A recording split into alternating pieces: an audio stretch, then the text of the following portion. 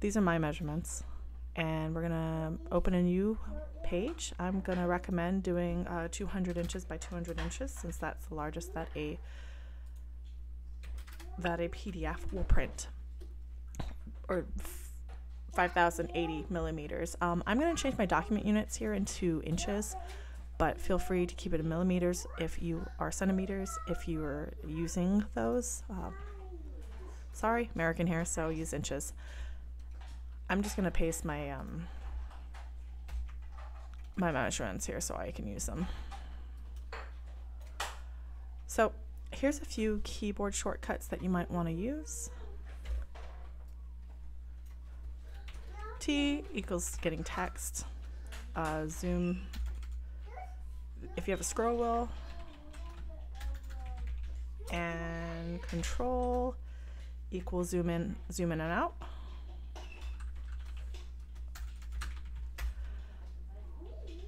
Scroll wheel plus plus shift equals pan left or right and scroll wheel equals pan up or down. And I'm typing this out so you can remember. So the other the other keyboard shortcuts you need to know if you don't already use um, either Affinity Designer or if you aren't used to uh, Adobe Illustrator. If you are used to Adobe Illustrator, congratulations! It's the same keyboard shortcuts. Um, P will equal to pen, if I could type. Uh, v is equal to the um,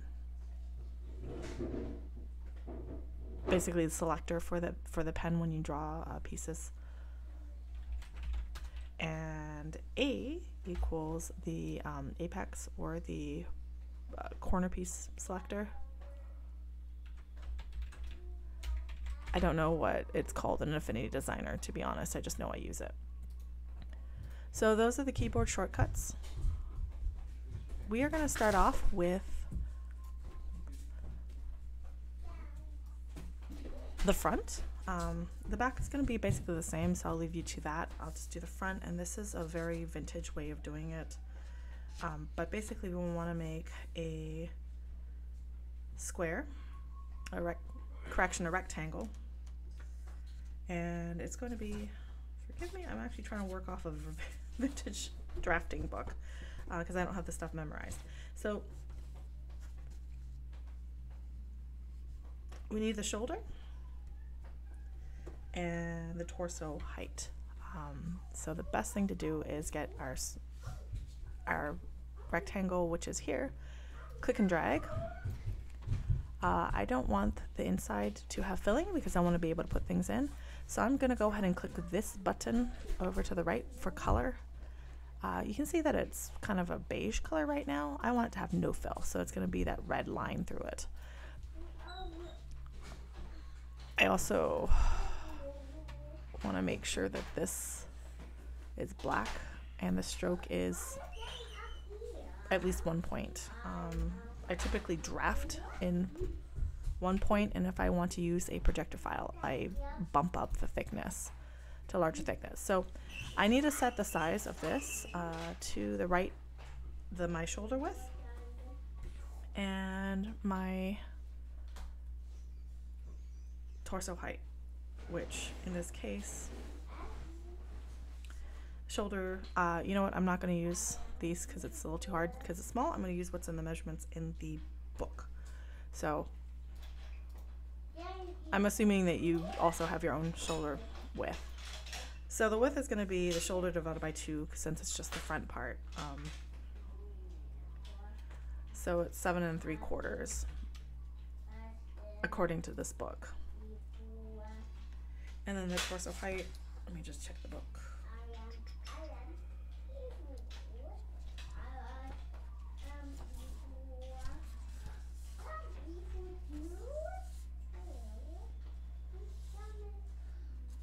Front waist length is 17 and a half inches, so I'm going to make this 17 and a half inches. It's down to the lower right, or I'm putting in the measurements. But that's one half of the bodice front. So once we want to get the neck in, we have our neck measurements. Um, And some people will do a point and they'll origin it at this left hand side. Uh, I'm lazy, I don't do that, but uh, would make like a a circle. If you want to make a perfect circle, hold the shift as you click and drag. Uh, and then they use the, the move function or they add onto in the lower right hand side, you can see the X and Y positions. Uh, but that's too much math for me. So what I do is I make another square or rectangle and I set it to the width of my neck measurement, which according to this is going to be two and three eighths, which is more math than I'm willing to do in my head. 0.375.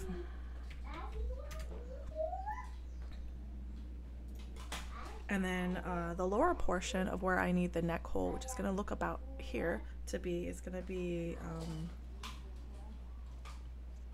the neck divided by 6 for this example.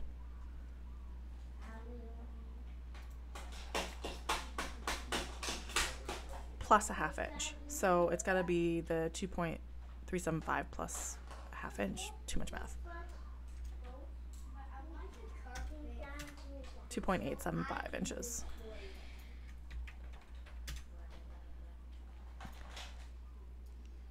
This is just about what the neck's going to be. So if you want to make, go ahead and start making the neck, uh, the neckline, which is probably what the person who requested this actually wants to do.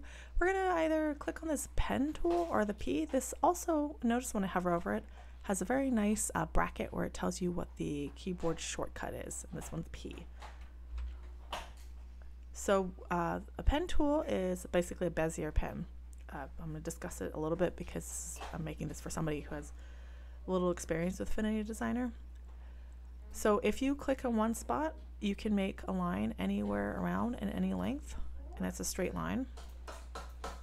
And you can connect them all and then make a closed shape if you're done. If you don't want to make a closed shape, you just press enter or uh, the move tool V. The other neat part about Bezier pen is if you click and you click another spot and you drag it, click and drag, you can make a curve. So you see where uh, the very thin blue line is showing the curve. It shows the diameter of the curve and where the curve is going to um, be adjacent to. So we're going to make the curve for the neck here and just press enter. Of course, right before I started recording, my kids were very quiet and now they are not. So next I want to put in the shoulder, which is going to be from this, this point here down this way. So that's going to be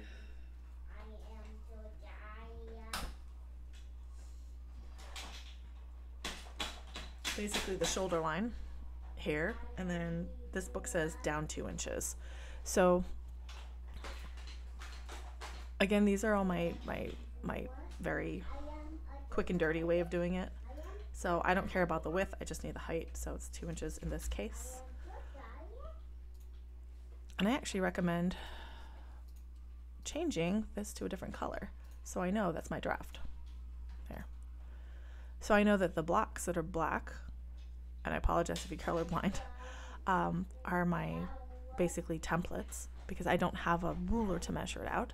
And the red in this case is going to be my draft. And I'm sighing because my kid has decided to be very noisy. So now I'm going to connect the shoulder to the neck and press enter. I'm done. So that's the neck and the shoulder portion. Um,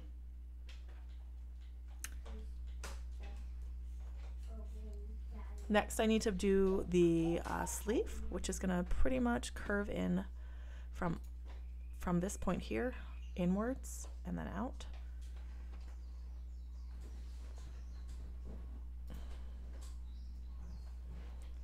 Which I am going to actually have to make this block a bit wider because I need the bust point for the width, which is going to be bust measurement divided by 4, in which case 9 inches wide. So I'll just change this one to nine inches because, and it should move just over to the right and stay in place.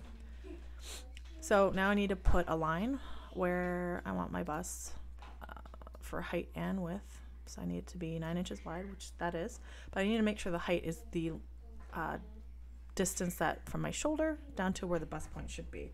Uh, in this case, according to this chart, it's 10 inches from this point here. So I just want to make sure that this height is 10 inches and that it's aligned with um,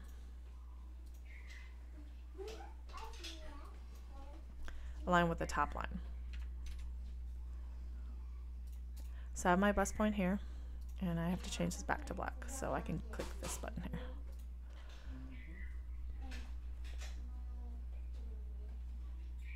And then I need to do the chest line, which is going to be a front width for this pattern. So you might have a slightly different one, but I'm showing you the idea on how to follow the instructions. So I need another, I need another block, which you can press Control C and then Control V. It's going to place it exactly in the same spot. And I'm going to change the height um, to front width, which is seven inches wide. This is gonna be the scoop portion of the of the shoulder for your sleeve, or if you're doing sleeveless, for your arm, basically, for your armhole. And then the height location needs to be three inches down from the neck opening. So basically I can align this, the top of the block at the bottom of the neck opening, which is this red curve line here, and change it over to be the height to be three inches. So you notice something here if you're really new to computer drafting, uh, it clicks into place. That's because I have this snapping on if I turned it off, it would just free float and wouldn't click into place, and I'd have had to approximate, making sure it's close enough to where the bottom is. But I have snapping on, so it makes my life much easier. So I remember it's this point down here. So now I'm going to make a curve that connects this point here, this end, to this point here, and then this point here to make the arm side. So I hit pen and I'm going to make sure that it's red. So you can see that the outline, which is a hole inside of it to indicate it's the outline, is going to be red. So I'll click here, click here, click and drag to make that nice curve, and then click here and then make the nice curve. We're going to clean this up in a second.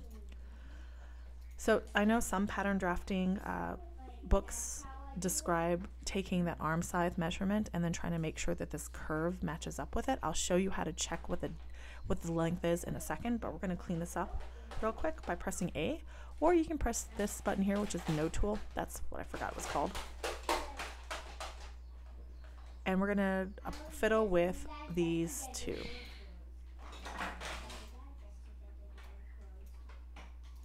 And this is how you get the length change. So if you want to check the length, let's see if this works, as you click this area tool to here, and it will highlight that length. So this one says it's 9.259 inches. I'm not sure what the um, arm side length for this particular example is supposed to be, uh, but if you needed to make it a little shorter, you would make this curve less generous. If you needed longer, you'd make the curve deeper. In my case, I usually need to make my curve uh, deeper or uh, of course, with normal pattern drafting and pattern fitting, you can raise the shoulder up a little bit to make this angle so that the arm side is actually longer. So if I'm satisfied with this shape, which I typically actually wouldn't, but I'm not going to waste everyone's time while I fiddle with it. I am going to waste your time while I fiddle with it. It's bothering me. Next, uh, we can basically close out the rest of this um, if you wanted to go ahead and put in darts, for example. So I'm gonna hit the pen and then close out this. This is going down to the waist. This is of course not hip length. If you wanna do hip length, you would have to indicate the hip length. And I just clicked all of these to try to complete the piece. Sometimes a little finagly. Did not connect these two.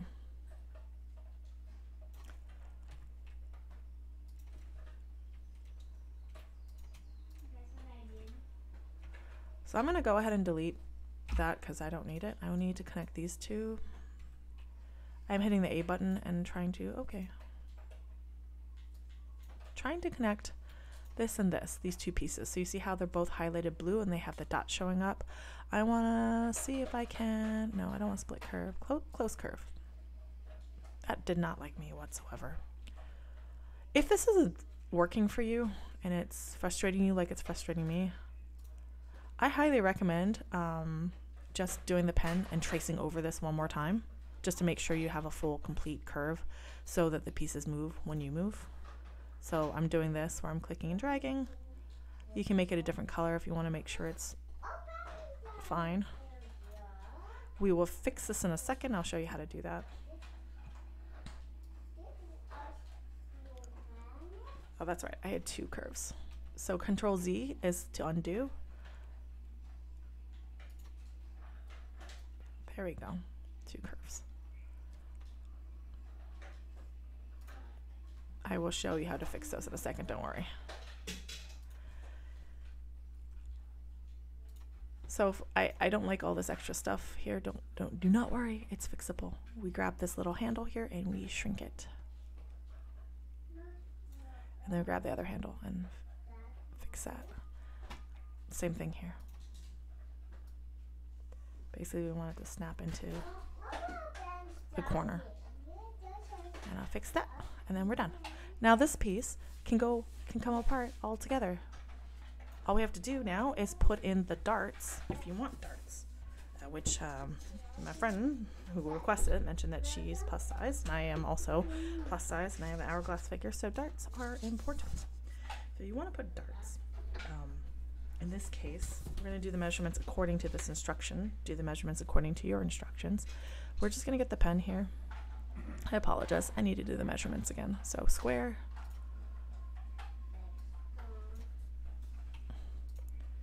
I'm going to make a square. It doesn't matter what size it is because I'm going to put it down to the lower left hand corner. And in this case, it's going to be the width divided by 8 for where the dart starts. And I want to mark where the dart starts, how wide the dart is, and then how tall the dart is. So I'm going to have basically two um, rectangles abutting next to each other. So this is the first one just to indicate where the dart starts because I need the measurement. So the width in this case, it's three and a half inches. And then I need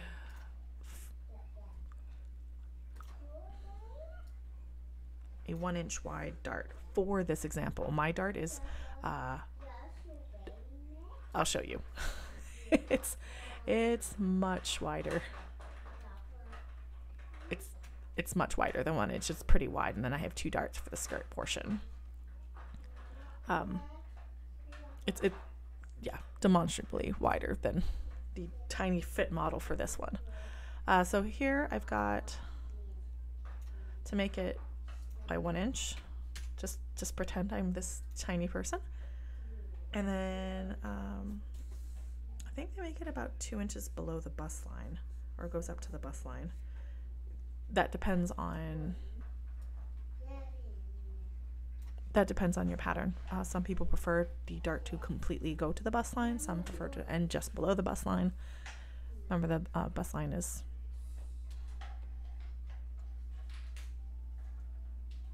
should be about here, honestly. So after that, now we can put in the dart. So what I want is this dart.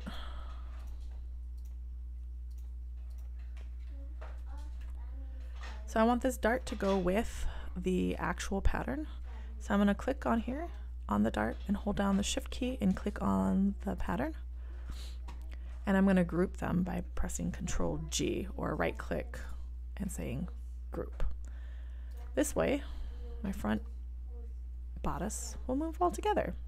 Now I know some patterns have uh, darts up here in the shoulder and or they have darts here in the arm side. You would do a similar thing.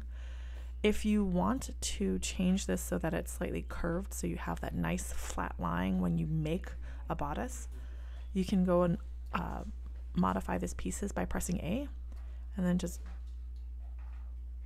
uh, hold on, I messed that up.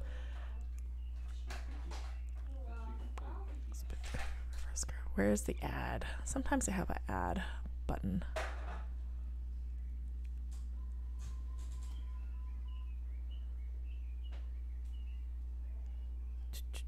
Sometimes they have add button. So I'm going to press shift and click on these nodes. Yeah, there we go.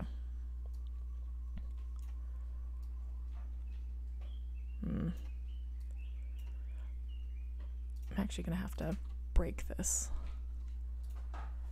because no, I didn't want that. I apologize. I'm not going to edit this, so all these mis- ah, there we go. You click on it, and you can get another. Uh, you click on the actual node, and then you can get um a whole separate node, which is what I want, and I want to make it approximately curved. Actually, I think I'm going to change this to a sharp point because that's usually how you get it. And you can move the pieces down. Oops. I'm using the keyboard right now for more accuracy to move these individual points. So that's the front. Uh, this is, of course, with everything pretty tight. So the neck's going to be right up against um, where your collarbone hits. The, the arm side is going to be right under your underarm. There's no um, ease presented in this. So when you are drafting your pattern, you're going to have to add, add an ease. Get stretchy material. uh, also, I should mention this is, of course, the pattern drafting for woven material. The measurements might be a little different for um, for stretchy material uh, or knits. So please follow your drafting instructions for knits if you're using knits instead of wovens. So next we're going to do the, um, the back part of the bodice because we need that to make the other part of the arm size so we can make a shoulder. Uh, I'm sorry, um, the shoulder part of the sleeves. So we're going to do a similar thing in making the pattern. I'm going to actually skip over that and pretend that I've already made one. So I'm just going to really quickly draft one. Uh, just pretend I've done all of the same measurement requirements as before. I know that this is normally shorter. And I'm going to assume that there's no back dart. I do have back darts if you've seen my, if you saw my uh, pattern. So if we have left and right, I'm gonna just flip this horizontally so you can see what the arm side is gonna look like. And um, you can see the arm side diameters this way. So we need, if I can find what happened to all my pieces, we need two measurements to start to make uh, to make the sleeve. We're going to need the addition of the back arm side and the front arm side. Uh, the easiest way is to just trace it using the pen tool uh, and then add them up. Or actually, the easier way is to do it this way and have them t- together and then trace it and then use the uh, measurement tool. So I'm going to do the tracing tool. Uh, I'm not going to show you alternate ways because I frankly hate the alternate ways. So we're going to trace as close as we can. If you can't get that close, I would put um, a few more points just to make your life easier. Pretend I do this super accurately. I just I'm going to adjust this a little bit to make it look a little more accurate. There we go.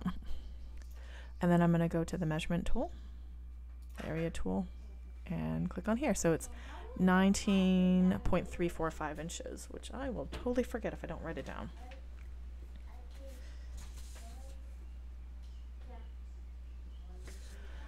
So I need to remember that. I'm going to keep this here just in case I forget and, or I feel like I wrote it down wrong and I want to double check. So typically when you do sleeves, it's a little more dynamic when you're doing it uh, by hand on paper because you can take your tape measure and measure it. Um, in this case, it's a little harder to do it, so you're going to have to do a little finagling, and uh, that's the fun part. And probably why people pay a lot of money for a drafting program that does the arm cap, the sleeve caps for you. So we're gonna do a sleeve. Uh, in this case, we're gonna assume front and back rather than a uh, one size where front and back is gonna be uh, mirrored of each other. So I make another another square rectangle, and I want to make sure it is. Let's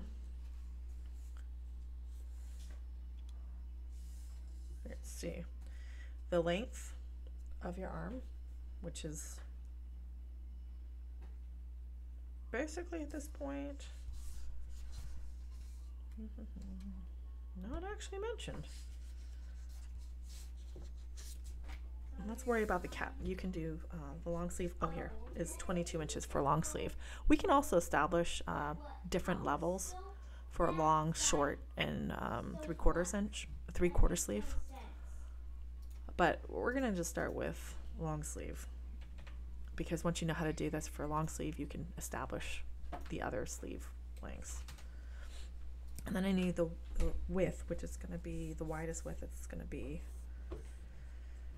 And which this, in this, according to this, this is the armhole divided by 4 plus 1 inch. I imagine 4 ease um, for the cap, which is 5 and 3 eighths. Ugh, math.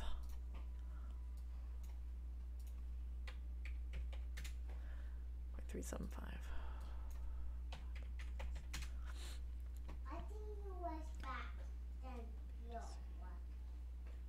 Oh. Mm-mm-mm. Oh, I'm sorry. No, I totally messed that up. Um, A to B sleeve cap. I'm also trying to re-remember how I did this.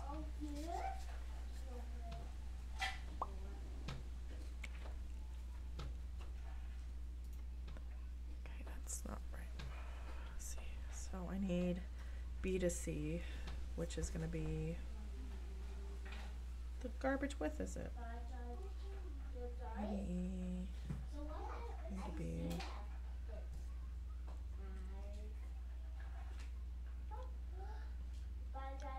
G is the sleeve band.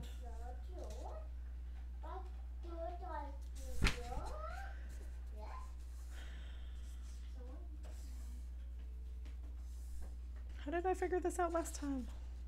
Man, I'm gonna have to edit this out. You're gonna be listening to me try to figure out this very esoteric sleeve width. Okay, well, follow your instructions to figure out the sleeve width. So, left to right, or front to back and top to bottom It's going to be your sleeve height. Um, and then establish a midpoint, which is going to be basically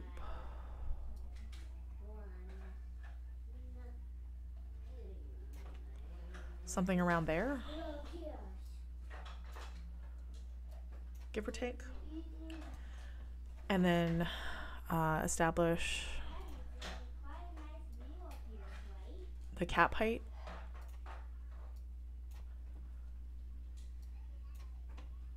Which is going to be basically where the that cap curve goes. And according to this, that should be that should be the five and three eighths. I, I can't remember what the three eighths was. That was wrong. Three seven five. So the cap height's here. Um, and then what you're gonna have to do is basically your drafting uh, instructions should tell you how to figure out the curves, where the curve's going to have to be, and how far in and out it's going to be. So typically they have lines that go three quarter. That's not what I meant to do. A third of the way down. Hold shift, it'll stay linear.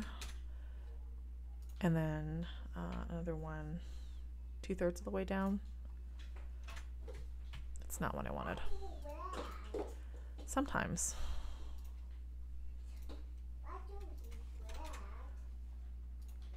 And then basically, according to this, on this line, it's going to be three quarters inch over.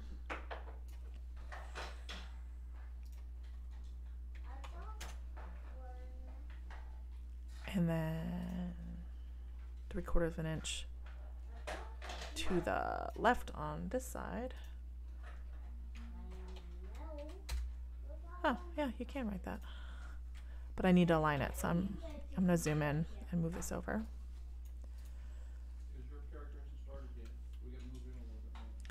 And then on the on the right side, it's gonna be three quarters over to the right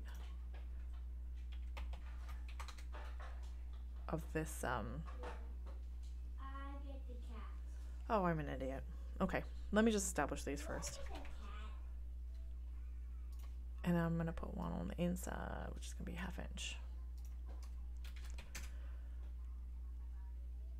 This is not something I do every day, by the way, because I just do it once. So once we have these lines here, we need to go from this point to this point to this point to make the this um, pointed rectangle, uh, triangle, and. And here is where we want to move the points over relative to the this diagonal line. That's why I said I'm an idiot. okay, inside. And I am roughly estimating this, so it's going to look funky. Now, we need the pen. Uh, and now we're going to complete our sleeve. If assuming that it's going to be a straight sleeve, if you want to have um, a narrower sleeve length, so like you have a cuff that's a certain width, say, I don't know what the width this is, 13 inches. That's not right because that's for short sleeve. Um, just pretend that's the right width of 5.7 inches. We're ready to go ahead and make the sleeve. So I'm going to hit the pen and I'm going to change this color. I don't know why I drafted in blue. I mean red.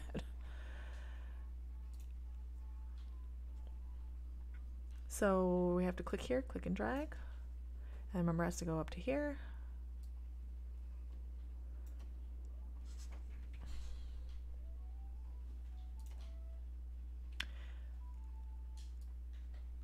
It's it I apologize. This looks ridiculously silly. We're gonna have to smooth this out. And then come here, click, click, and then complete it and then we will smooth this out because this is demonstrably wrong. I'm going to convert that to smooth so I can do a little bit of this juging. Same thing here and here.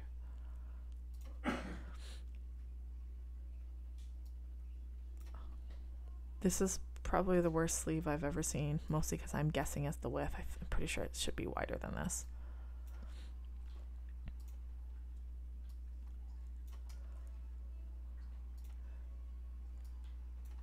So what we want to do is remember the, how I traced this portion. I want to trace this again to see how long this curve just from here to here is. Um, or you could have just made the curve first and then finished the, the arm side.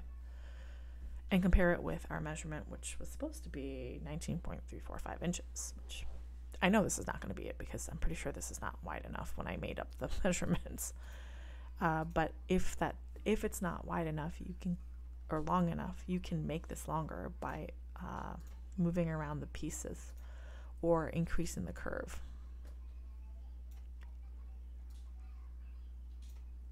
That's not what you're supposed to do.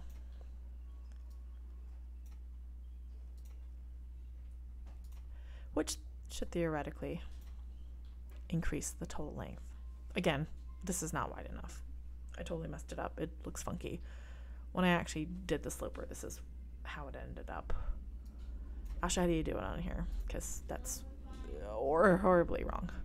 So I'm going to just trace all these points. You can see where I placed down or I clicked. I'll fix that in a second.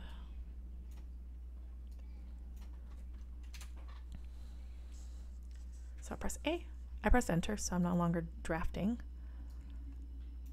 And then I want to fix these and fix these and fix this.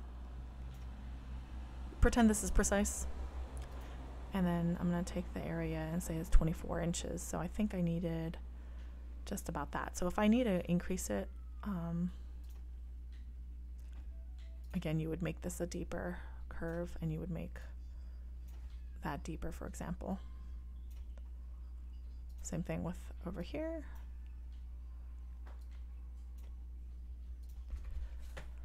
And smooth it out, of course. You wouldn't want it to look horribly deformed. So that actually added a whole inch onto uh, onto the curve with just a few minor curve changes.